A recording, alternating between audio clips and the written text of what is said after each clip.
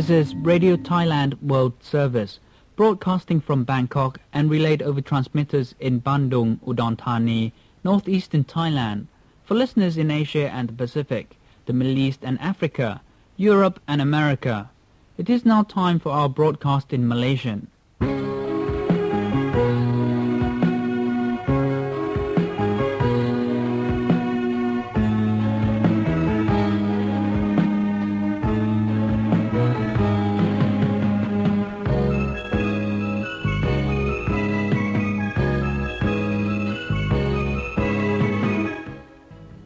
Assalamualaikum, anda bersama saya Nadia Abdul Latif.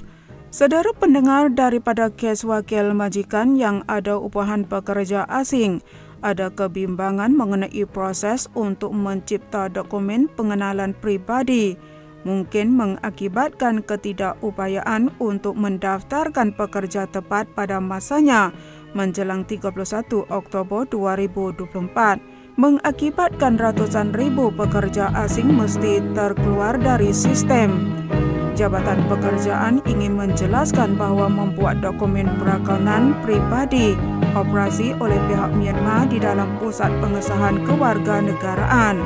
Kerajaan Myanmar memerlukan pekerja membayar yuran kautel perkhidmatan sama membuat temu janji masa untuk masuk ke pusat prosedur mengikut kaedah Myanmar tiada kerumitan dalam apacara sekalipun. Bagi Jabatan Pekerjaan telah mengawasi operasi pusat dengan rapi, hantar pemeriksa untuk memberi nasihat secara berskala. Hantar pemeriksa untuk memberi nasihat secara berkala susun kaki tangan di pusat untuk menyediakan perkhidmatan merekod maklumat CI dan kebenaran untuk tinggal di kingdom yang diterima oleh pekerja dengan melantik pusat pengambilan wilayah menjadi ketua pusat tersebut menugaskan ketua jabatan untuk memeriksa, memantau dan menyelia tiada kutipan wang ditemui di dalam pusat. Sebilangan kecil majikan datang beroperasi sendiri. Kebanyakannya mereka diberi kuasa oleh majikan akan ada perbelanjaan yang akan ditanggung oleh majikan. Bagaimanapun Kementerian Buruh oleh Jabatan Pekerjaan telah disadangkan kepada Kabinet untuk mempertimbangkan pengurusan pekerja asing pada 2025. Kabinet memutuskan pada 24 September 2024 untuk meluluskan pendaftaran pekerja asing berstatus haram. Pekerja akan dibenarkan tinggal dan dibenarkan bekerja selama satu tahun dan untuk ada permit kerja oleh pekerja asing mengikut resolusi Kabinet. Permit kerja taman pada 13 Februari 2025 dalam bentuk MOU pekerja akan dibenarkan tinggal bekerja selama lima tahun, boleh diperbarui sekali lagi selama dua tahun. Oleh itu, pekerja yang terkeluar daripada sistem majikan boleh mendaftarkan pekerja asing mengikut resolusi Kabinet pada 24 September 2024. Jabatan Pekerjaan telah berunding dengan pihak berkuasa Myanmar untuk bersama menentukan langkah-langkah yang serupa dengan mengimport mengikut MOU biasa dijalankan melalui sistem elektronik mudah dan cepat. Tidak perlu melakukan perjalanan keluar, tetapi jika pekerja asing yang mana ingin kembali boleh dibuat pada 13 Februari 2025 dan apabila mereka kembali jika ingin bekerja mesti kembali bekerja mengikut MOU. Thailand dan Amerika Syarikat mempunyai hubungan baik sejak sekian lama. Menteri Tenaga Kerja akan bertemu untuk membincangkan kerjasama bidang buruh dengan Duta Besar Amerika Syarikat di Thailand. Menurut data, terdapat 940 pekerja Thailand yang bekerja di Amerika Syarikat. Kebanyakannya bekerja sebagai pelayan, tukang urut spa dan bartender. Bagi pekerja Amerika yang dibenarkan bekerja di Thailand, terdapat kira-kira 6,600 orang. Kebanyakannya adalah profesional keguruan, diikuti oleh pengurus syarikat, pegawai eksekutif, agensi swasta. Pipa Rachakit Prakan, Menteri Boroh mengarahkan setiausaha Kementerian Boroh dan Eksekutif memantau situasi Boroh dengan teliti selepas Donald Trump memenangi pilihan raya dan akan memegang jawatan sebagai Presiden Amerika Syarikat pada awal tahun depan dengan mempertimbangkan bahawa bagaimana Thailand akan terjejas dari segi pekerjaan. Baik kesan langsung dan tidak langsung berkaitan dengan dasar keselamatan dan ekonomi oleh Presiden Amerika Syarikat yang baharu dan mewujudkan plan tindak balas bersepadu seluruh sistem sejak bekerja pembangunan kemahiran, pampasan, penamatan dan faedah majikan dan pekerja.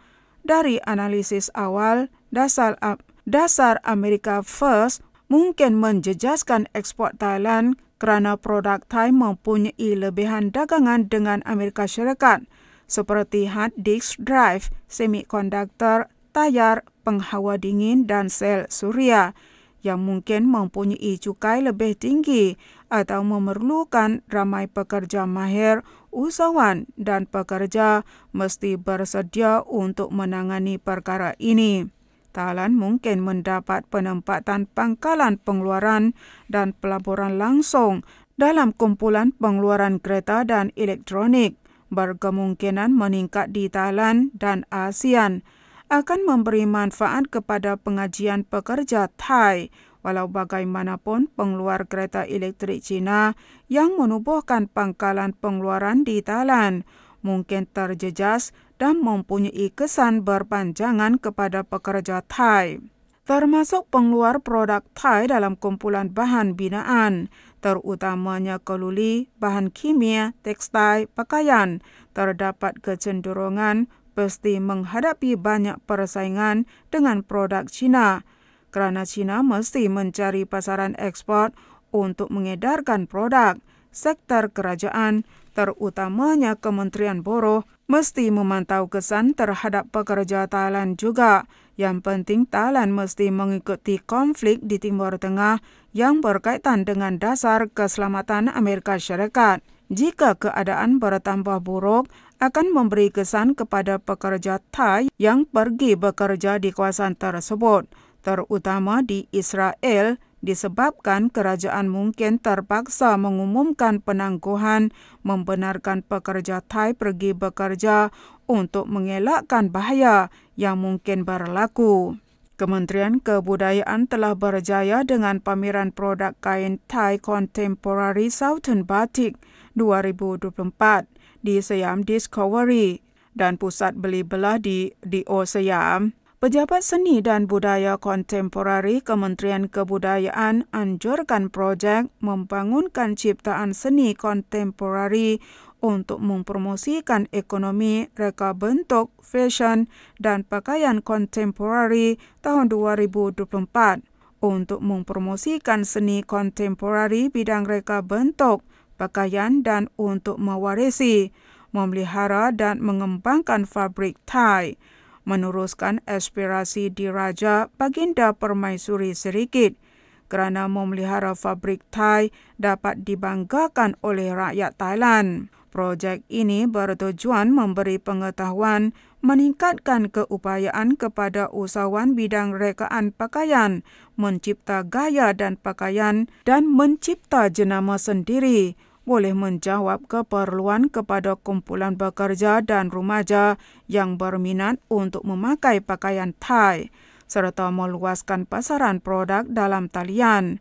Aktiviti yang ada pertunjukan fashion dan menjual produk pakaian dan produk kain Thai kontemporari, Batik Selatan Kontemporari 2024 produk pakaian dijual dan produk pabrik kontemporari Thai daripada usahawan di selatan, termasuk batik Denara, Medina Thap, Raya Batik, Kumpulan Simaya dan Ke Batik. Baru-baru ini, Thailand oleh Kementerian Kebudayaan menganjurkan filem berkualiti dari seluruh dunia untuk tontonan di Pesta Filem Sedunia Bangkok kali yang ke-16 di Pawagam SF World Cinema Central World dengan filem terbaik di Asia Tenggara. Untuk mendorong industri filem Thailand telah meluaskan rangkaian untuk meningkatkan daya saing dalam pasaran filem antarabangsa dan membolehkan penonton bertukar pengetahuan budaya melalui kandungan filem dari pelbagai negara dan aktiviti untuk mempromosikan pelancongan dan mewujudkan imej yang baik untuk negara. Kerajaan bertujuan melaksanakan soft power bidang filem dengan membawa kreativiti, inovasi dan teknologi digunakan dengan modal budaya Thailand untuk mencipta nilai tambah bagi produk dan perkhidmatan tenaga industri perfilman adalah salah satu dasar soft power kerajaan. Kementerian Kebudayaan oleh Jabatan Promosi Kebudayaan telah bergabung dengan Jawatan Kuasa Kecil untuk memaju industri perfilman, sokong filem Thai untuk menyertai pesta filem di luar negara untuk mempromosikan industri perfilman Thailand supaya dikenali di peringkat antarabangsa. Sepanjang tahun 2024, filem Thai telah mendapat perhatian daripada pesta filem antarabangsa di seluruh dunia, seperti Pesta Filem Asia New York, Pesta Filem Locarno Switzerland, Pesta Filem Antarabangsa Venice Itali, Pesta Filem Antarabangsa Toronto, Kanada, dan pada awal Oktober, filem Lanma dan Arunkan, filem dari Thailand mendapat penghargaan yang hebat di Pesta Filem Antarabangsa Busan Korea dan memang mengembirakan filem Arunkan akan ditayangkan sebagai filem pembukaan di pesta kali ini. Ia dianggap filem Thai berkualiti yang pernah ditayangkan di pesta filem antarabangsa di banyak-banyak negara.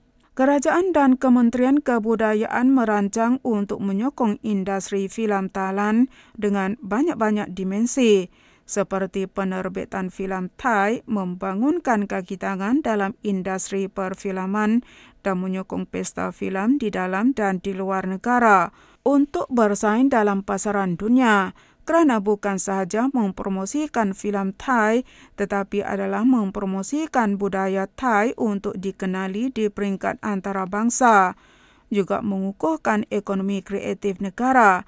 Pesta filem ini berlangsung akan boleh memacu industri perfilman kepada kaki tangan, bidang filem kepada pencinta filem baik warga Thailand maupun warga asing, kembali memberi perhatian kepada filem Thai dengan berlebihan serta merangsang ekonomi, perdagangan dan pelaburan dalam industri perfilman untuk mempromosikan pelancongan dan mendorong industri soft power Thailand untuk kejayaan dengan selanjutnya. Sekian berita hari ini.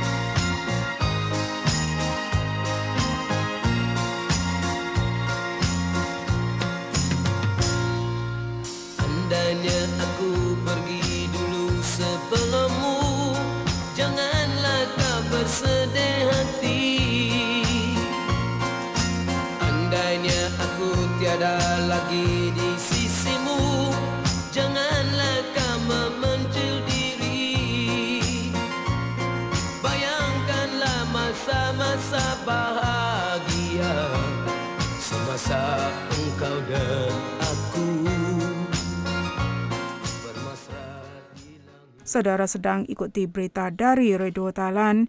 Siaran ini akan diudarakan lagi di gelombang dan waktu yang sama. Hari ini selamat berpisah. Assalamualaikum.